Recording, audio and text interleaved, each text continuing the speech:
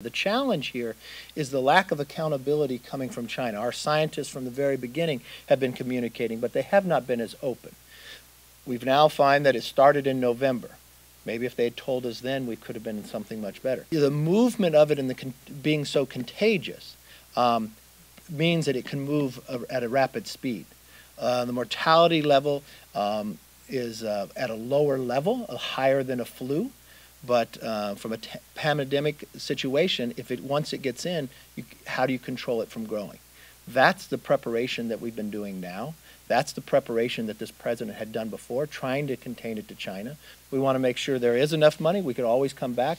I think uh, two billion is a little low on the side. I think we're probably looking at four billion in this process. Having spoken to um, Democrat House members from appropriations. That's what they were looking. I think this is a moment in time where the world works together.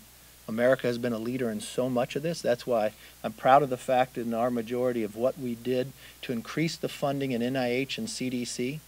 Forward looking to this day coming, um, we have some tremendous experts in there. And really, if the other countries would unshackle what's holding them back from allowing our experts to help, I think the world would be safer sooner.